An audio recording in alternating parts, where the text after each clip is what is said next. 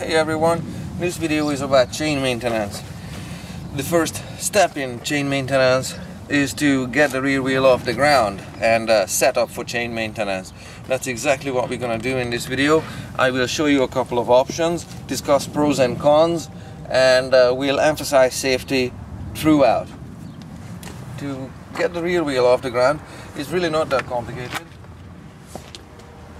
Uh, if you have a center stand. If you don't have a center stand like this bike, only comes with a kickstand, it's a little bit of an issue. But just because you don't have a center stand, it's not an excuse for ignoring your chain.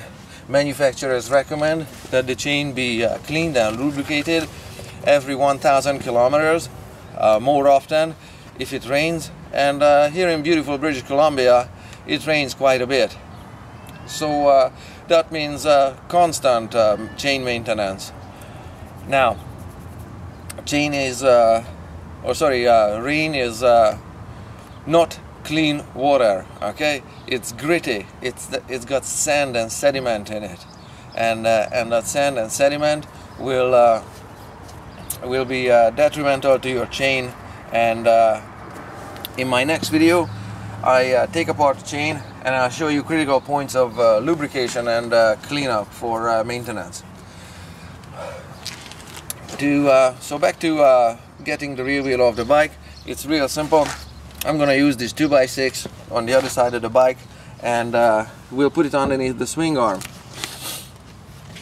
Uh, let me show you uh, how it looks like when the bike is lifted up like so. It's pivoting around the uh, kickstand here and around the front wheel there you can see. And uh, and the rear wheel is off the ground so you could do maintenance if you prop something underneath the swing arm on the other side of the bike.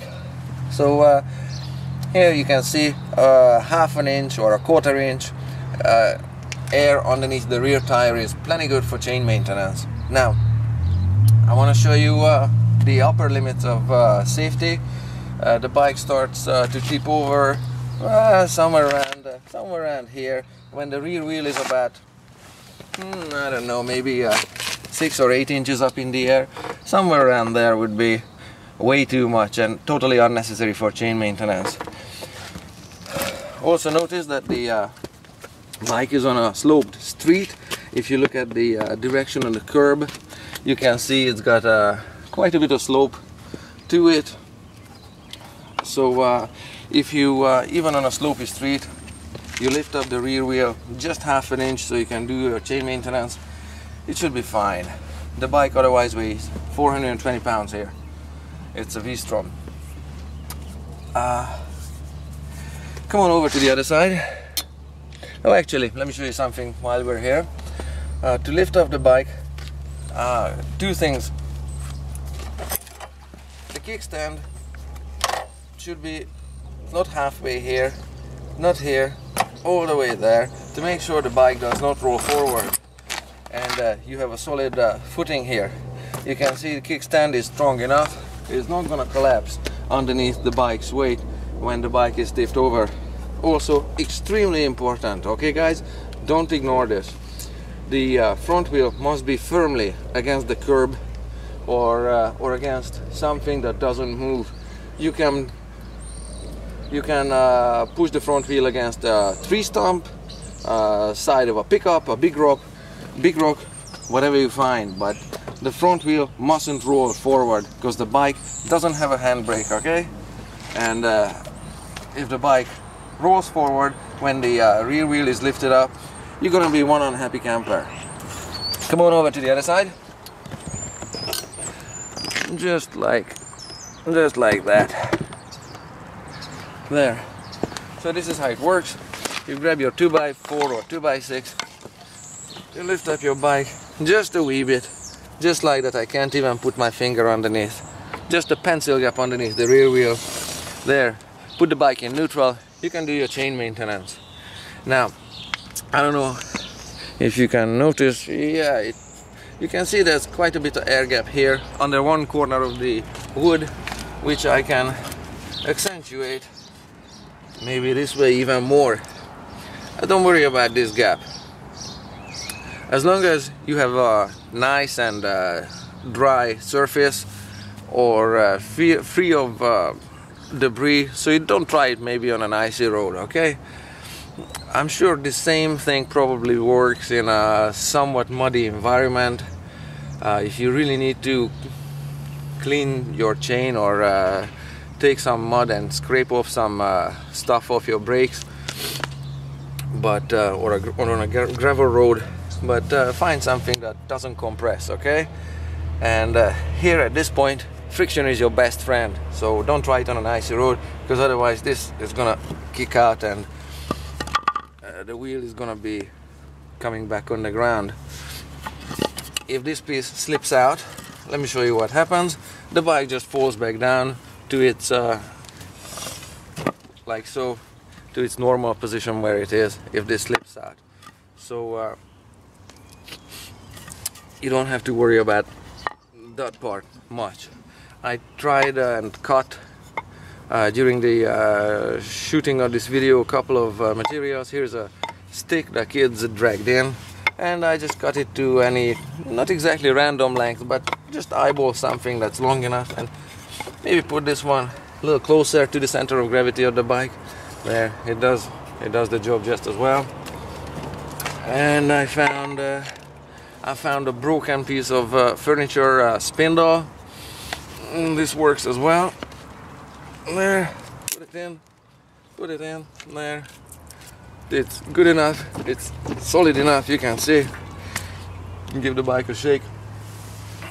It's good enough for uh, chain maintenance here uh, the last one that uh, did not break and the thinnest that didn't break is about a half rotten twig or half good twig about this thick. Just put it underneath maybe maybe here because it's a little long. And you can see on it it's bending quite a bit as I yank on the bike. But uh, anything thinner than that would probably snap. But even if they do so like I said the bike just comes back to its rear wheel. So uh, so you'll be reasonably safe okay? Again make sure that the front wheel does not roll forward okay? It must be against something immovable like a curb or a rock or a tree stump or something that really really doesn't roll forward okay? Uh, oh yeah and one more thing. Uh, here I have a bathroom scale. Let me see. Can you see the numbers on it not yet let me switch it on there okay I will put it underneath the rear wheel so you have an idea what kind of forces should the uh, sticks uh, withstand against let's see no let's switch it on again let's see no, just one more try. Let me switch it on. There. Take a look. Uh, let's see. Can you see the numbers on it? 67 and a half pounds. Yeah. So, uh, as long as your uh, sticks, broom handle, shovel, shovel handle, uh, any kind of twig you can find in the forest, whatever, can withstand a compressive force of 67 pounds, you should be safe and you will be safe. So it's not a lot of force you can see, and, uh, and even if your stick slips out, you'll be fine and you'll be safe.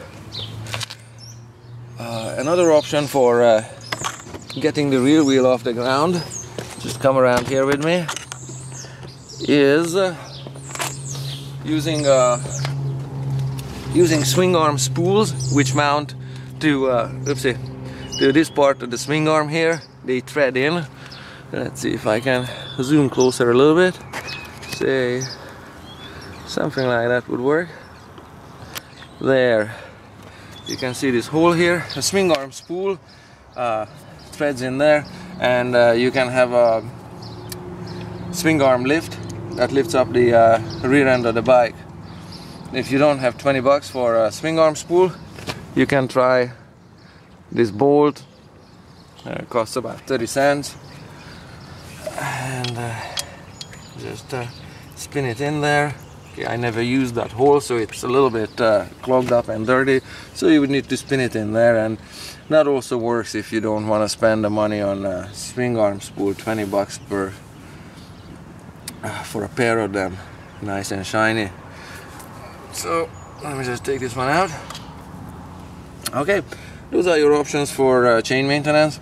And like I said, just because the bike doesn't come with a center stand, it's not an excuse for ignoring your chain maintenance. Alright? So uh, do be safe and have fun riding.